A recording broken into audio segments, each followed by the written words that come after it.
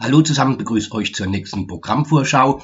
Hab mal wieder was gefunden bei Malabia und ähm, ja, auch sehr spannend, sehr interessant, aber auch irgendwo erschreckend. Ja, da geht's um diese Kommentare, die entweder zu ihren Witz ähm, gepostet werden, beziehungsweise äh, wenn jemand was gepostet hat, der das wieder kommentiert bekommt.